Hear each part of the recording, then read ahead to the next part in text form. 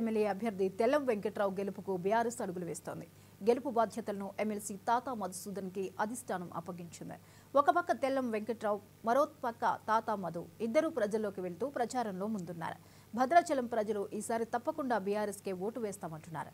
ఈ పరిస్థితులపై ఎమ్మెల్సీ తాతా మధుసూదన్తో మా ప్రతినిధి చంద్రశేఖర్ ఫేస్ టు ఫేస్ భద్రాచలంలో ఈసారి ఎలాగైనా జెండా ఎగరేయాలని బీఆర్ఎస్ అధినాయకత్వం అయితే పూర్తిగా దృష్టి పెట్టిందని చెప్పుకోవచ్చు. భద్రాచలం బీఆర్ఎస్ అభ్యర్థి తెలుగు వెంకట్రావు అయితే ప్రజల మధ్యలో తిరుగుతున్నారు. గతంలో తను ఇక్కడ పోటీ చేసి ఓడిపోవడంతో ప్రజలతో తనకున్న అనేక సంబంధాల దృష్ట్యా అయితే ప్రజల మధ్యలో అయితే గెలుపు దిశగా అయితే దూసుకెళ్తున్నారు.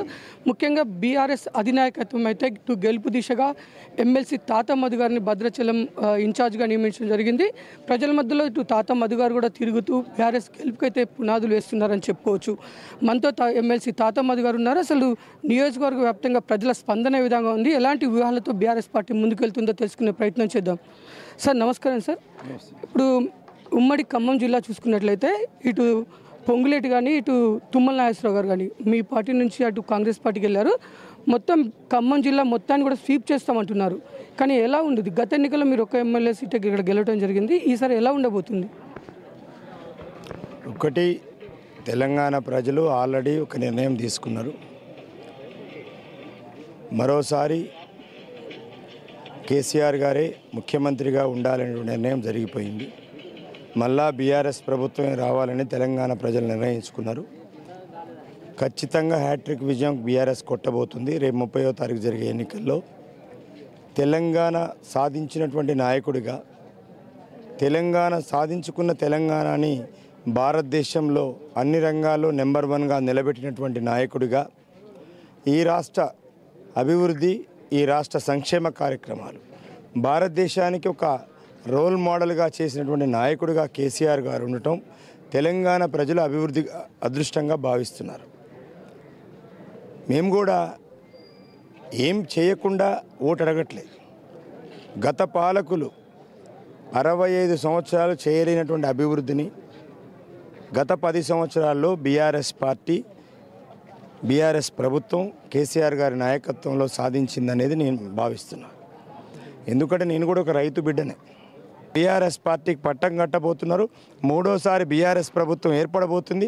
ముచ్చటగా మూడోసారి హ్యాట్రిక్ ముఖ్యమంత్రిగా కేసీఆర్ గారు డిసెంబర్లో ప్రమాణ స్వీకారం చేయబోతుంది సార్ ఇప్పుడు ఈరోజు చూసుకుంటే ఇటు మాజీ పీసీసీ అధ్యక్షుడు పనిచేసిన పొన్నాల లక్ష్మయ్య పార్టీకి రాజీనామా చేస్తూ పీసీసీ అధ్యక్షుడు రేవంత్ రెడ్డి మీద అనేక ఆరోపణలు చేశాడు.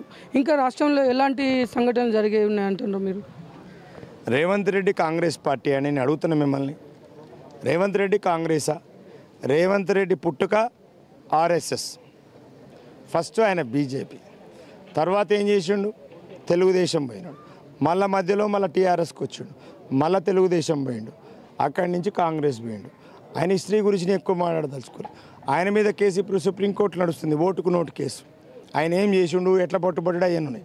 అంటే కాంగ్రెస్ పార్టీకి నాయకత్వమే లేని పరిస్థితులలో రేవంత్ రెడ్డిని తీసుకెళ్ళి అలా పీసీసీ ప్రెసిడెంట్ చేసుకున్నాం వాళ్ళ నాయకులు సిగ్గుపడాలి ఒకసారి. ఆయన కింద పనిచేసే నాయకులందరూ కూడా సిగ్గుపడాలి. మీకు పీసీసీ అధ్యక్షుడు మీరు బయట నుంచి కిరాయికి తెచ్చుకొని పెట్టుకున్నారు. కాబట్టి అంతకంటే నేను ఎక్కువ మండి పొన్నాల లక్ష్మయ్య గారు ఇప్పటికైనా కనీసం తన జ్ఞానోదయం అయితే ఇవాళ రిజైన్ చేసిండు.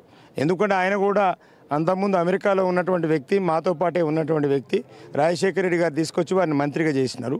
ఆయన కూడా కాంగ్రెస్ పార్టీ సర్వీస్ ఒక బీసీ నాయకుడు బ్రహ్మాండమైన చదువుకున్న ఆయన. ఇక్కడ ఆ రోజు ఇక్కడ అది లేదు. డబ్బులు ఉన్నోడికే ప్రాతినిధ్యం ఆడ. డబ్బులు మూట ఎవడుకుంటే వాడికే కాంగ్రెస్లో ప్రాతినిధ్యం. కాబట్టి డబ్బులు ఉన్న వాళ్ళందరూ కాంగ్రెస్ పార్టీలో చేరుతారు. అందుకోసం పొన్నాల లక్ష్మయ్య గారు ఆరోపించిన మాటలకు హండ్రెడ్కి హండ్రెడ్ పర్సెంట్ వాస్తవం. ఇంకా కాంగ్రెస్ పార్టీ టికెట్లు ఇస్తే కాంగ్రెస్ పార్టీ ఆఫీసులు ఎట్లుంటాయి వాటి పరిస్థితి ఎట్లుంటుంది మీరే చూస్తారు భవిష్యత్తులో. సార్ ఇప్పుడు గత ఎన్నికల్లో ఇక్కడ భద్రాచలంలో కాంగ్రెస్ తర్వాత కమ్ కామ్రేడ్స్ కూడా వాళ్ళకి మద్దతు ఇవ్వడంతో గెలుపు చాలా తొందరగా అయిపోయిందని చెప్పొచ్చు. అలాంటిది ఇప్పుడు మళ్ళీ తిరిగి కూడా వాళ్ళిద్దరు పొత్తులో ఉన్నారు.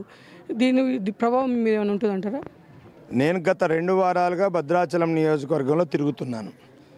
ప్రజలందరూ కూడా ఒక నిర్ణయానికి వచ్చారు. మేము పదమూడు సార్లు ప్రతిపక్షాలకు ఓటేసాము మన్ని నియోజకవర్గాలు తెలంగాణ వచ్చిన తర్వాత డెవలప్ అయినాయి. భద్రాచలం మాత్రం ఇంకా వెనకబడే ఉంది. మాకు సాగునీరు లేదు. తాగునీరు కూడా పూర్తి స్థాయిలో ఇంక అందలేదు. విద్యుత్ ప్రాబ్లమ్స్ కొన్ని ఏరియాలకు ఇంకా పవర్ కనెక్షన్స్ లేవు. అట్లాగే గూడాల్లో ఉన్నటువంటి గిరిజన బిడ్డలకు సరైన సౌకర్యాలు లేవు స్కూల్స్ లేవు. అట్లాగే వాటర్ ఇరిగేషన్ ప్రాబ్లం ఉన్నాయి. ఇవన్నీ ఉన్నాయి కాబట్టి ఖచ్చితంగా అధికారంలోకి వచ్చే బీఆర్ఎస్ పార్టీకే ఓటేయాలి. గతంలో తప్పు చేశాం వెంకట్రావు గారిని ఓడించి. ఈసారి ఆయనకు ఓటేయాలి. ఎందుకంటే నేను తిరుగుతున్నప్పుడు ఆయన గతంలో యాంటీ చేసిన వాళ్ళే వచ్చి మీరు మా ఇంటికి రండి వెంకట్రావు గారు ఈసారి ఖచ్చితంగా మేమే వేస్తాం గతంలో తప్పు చేసినామని వాళ్ళే చెప్తున్నారు. అందుకోసం వెంకట్రావు గారి విజయాన్ని ఎవరు ఆపలేవరండి ఈసారి. కేసీఆర్ గారి మీద నమ్మకం ఉంది. పా- భద్రాచల ప్రాంత ప్రజలందరూ కూడా ఈసారి మేము కూడా కేసీఆర్ గారికే ఓటేస్తామని నిర్ణయానికి వాళ్ళు వచ్చారు. సార్ ఇప్పుడు భద్రాచలం నియోజకవర్గ ఇన్ఛార్జ్ గెలుపు బాధ్యతల అధినాయకత్వం మేమే పెట్టింది. ఇటు దీని గెలుపు బాధ్యతలు తీసుకున్న మీరు ఈ భద్రాచలం ప్రజలకి ఏం సందేశం ఇవ్వాలనుకుంటున్నారు? నేను ఇన్ఛార్జినే కాదండి ఇక్కడ స్థానిక సంస్థల ఎమ్మెల్సీని కూడా. కాబట్టి ఈ ప్రాంత బిడ్డలందరికీ విజ్ఞప్తి. మెజారిటీ ఆదివాసీలు ఉన్నారు ఫిఫ్టీ పర్సెంట్ ఆదివాసీలు ఉన్నారు ఇక్కడ. ఇరవై ఐదు వేల మంది దళిత బిడ్డలు ఉన్నారు ఇక్కడ ఓటర్స్గా. కాబట్టి వాళ్ళందరికీ ఒకటే విజ్ఞప్తి.